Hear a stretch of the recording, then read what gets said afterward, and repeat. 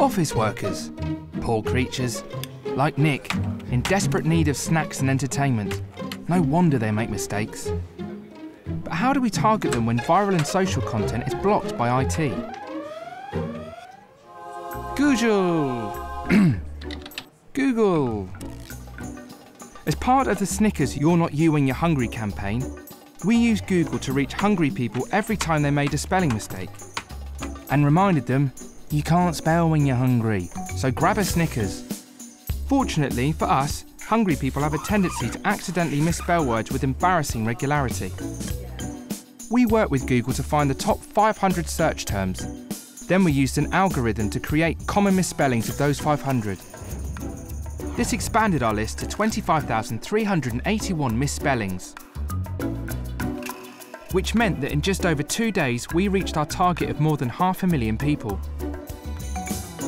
Including Nick, with minimal production cost and no seeding.